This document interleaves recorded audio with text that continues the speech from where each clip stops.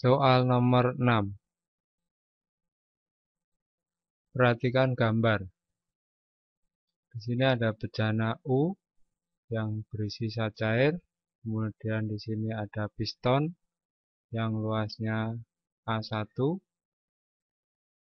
dan di sebelah kanan di sini piston yang lebih besar luasnya A2 kemudian pada piston satu yang kecil ini diberi gaya F1 dan pada piston yang besar diberi gaya F2 5000 Newton. Oke.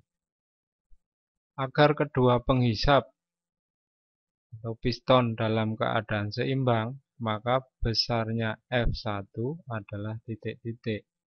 Oke, kalau ada bejana U kemudian ada penghisap atau piston di sebelah kanan dan kiri ini merupakan yang perlu diingat adalah hukum Pascal. Oke, kalau kamu sudah mengingat hukum Pascal, berarti persamaannya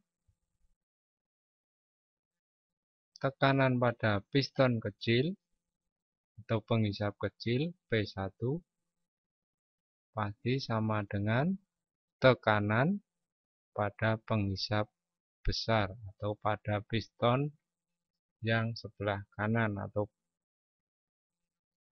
P2 di P1 sama dengan P2 persamaan tekanan sendiri P itu adalah gaya dibagi luas bidang tekan sehingga di sini kalau P1 maka F-nya F1 per A-nya juga A1. Kemudian P2 tekanan pada piston 2 itu berarti F2 dibagi A2. Oke, sekarang kita masukkan F1-nya itu yang kita cari dibagi A1 20 sama dengan F2-nya 5000 dibagi A2-nya 100. Oke.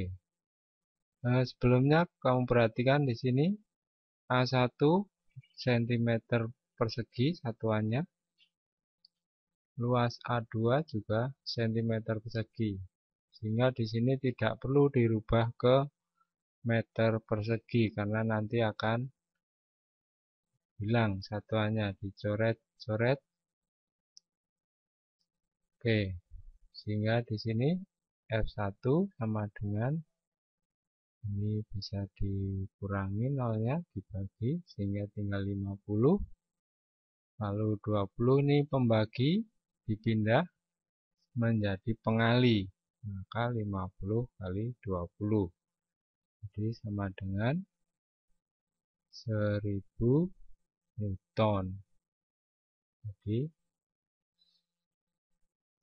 besarnya F1 sama dengan 1000 Newton, maka jawabannya adalah B.